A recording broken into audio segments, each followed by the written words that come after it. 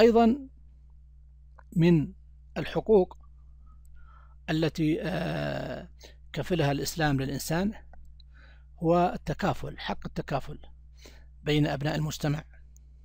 فالمجتمع فيه القادر على العمل وفيه العاجز عن العمل وفيه الضعيف وفيه القوي. فلا بد من تكافل هذا المجتمع.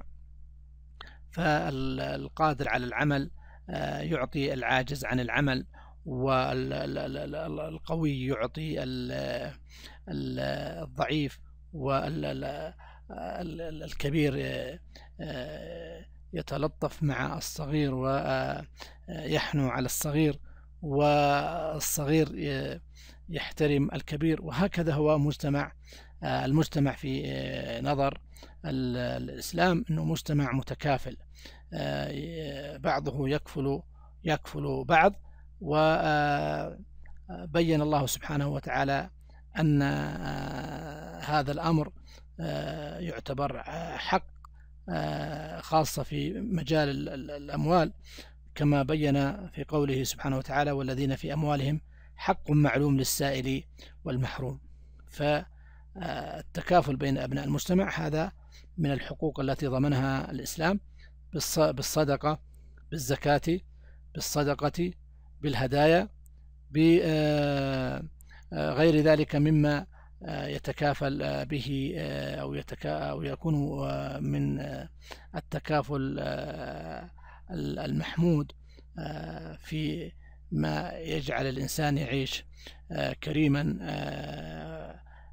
له من الكرامة والعزة ما يجعله فردا صالحا في هذا في هذا المجتمع. من الحقوق حق التعليم. والتعليم قد يكون واجب على كل كل شخص يعني واجب وجوب عيني وقد يكون واجب على وجه الكفاية.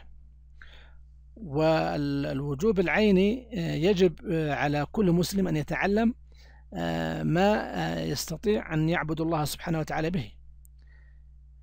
طلب العلم فريضة على كل مسلم هذا يخص ما, لا ما لا يسع الإنسان المسلم جهله عن دينه كأن يعرف الصلاة ويعرف الصوم ويعرف الحج وغير ذلك من العبادات التي هي فريضة عليه.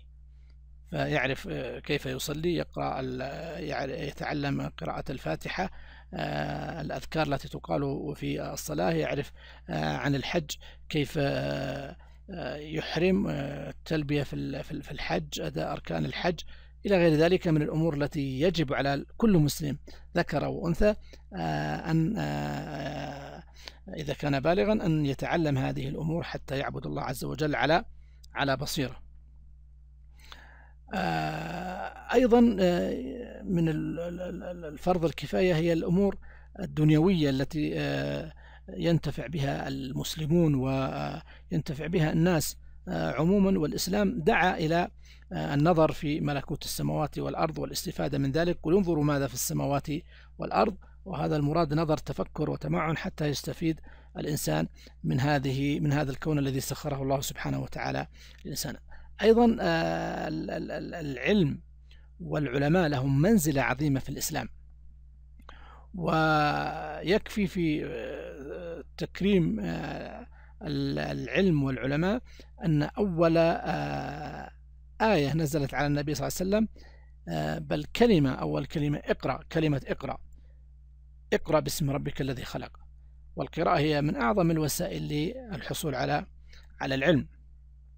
وكذلك فضل الله سبحانه وتعالى العلماء قل هل يستوي الذين يعلمون والذين لا يعلمون. يرفع الله الذين آمنوا منكم والذين أوتوا العلم درجات. هذه كلها مما يدعو إلى أن على الإنسان أن يتعلم وعلى الدول أن تهيئ المجال للناس أن تتعلم و يعني تخرج من غياهب الجهل والأمية إلى نور نور العلم. هذا والله أعلم.